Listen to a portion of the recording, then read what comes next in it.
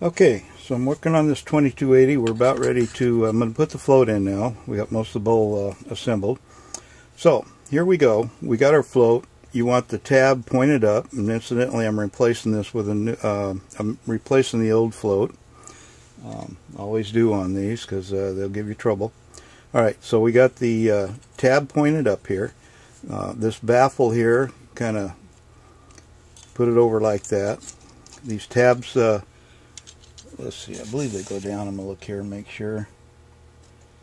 Tabs pointing downward. Yeah, that's right. Okay. So these go downward, and it tells you right in the instructions, incidentally, in case you forget. And then you put your pin in this way. Okay. Just like that. So there you go. You got it assembled. So then we're going to take this and just slide it down. That baffle kind of sits a little tight, but uh, there, so you can see my pin going down the uh, slot. There we go. Okay, baffle's all the way down, flush with the top. My float is still, uh, you know, it's not hitting the baffle or anything. Just make sure, just in case I stepped on the baffle and bend it, bent it. Um, all right, so the uh, um, next thing will be the idle mixture screw. Excuse, excuse me. okay, the needle and seat. All right, so um, this here, that's clean from little gasket.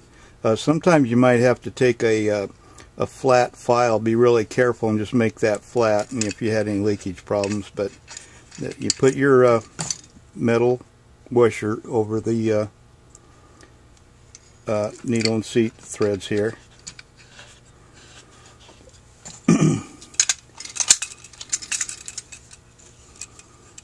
and I don't like the way they do these because it, it's tight, it's loose, it's tight, and it's a weird deal.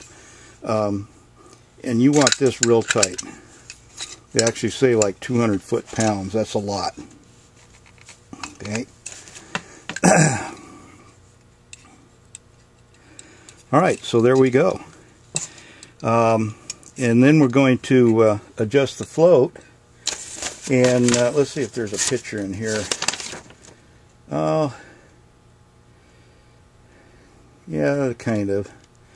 But anyway, it's uh, so the float level on this thing is uh, I believe it's 930 seconds. You go by the uh, data table. Uh, it's 930 seconds on this one. Uh, so I take my little um, measuring stick here and I got your 30 seconds. And you want to hold the uh, that little tab up against the needle. Don't don't press just you know put it up there.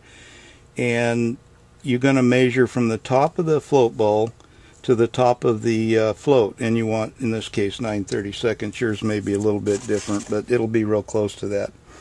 And um, you want both sides the same and if it's not then you have to bend the uh, bend the float right here at the tab. And I just put I just press the two floats down. Sometimes that'll do it if you can hold it enough. Okay. So I'm still a little bit too high, too low on that side, so I gotta mess around with the float here. Fortunately, there's not room for four hands.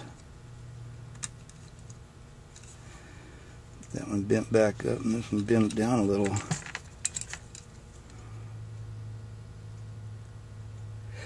Real close there. And that one is right on. And this one just a little bit, if you can see that, I'm about 10, which is probably okay, but I'll get her. Okay, that looks good.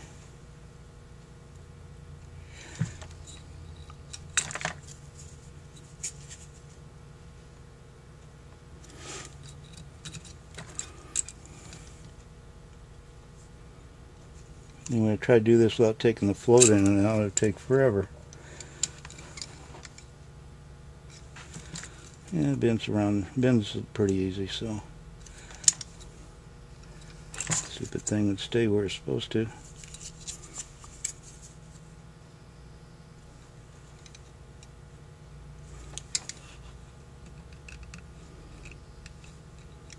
I'd rather have the two even.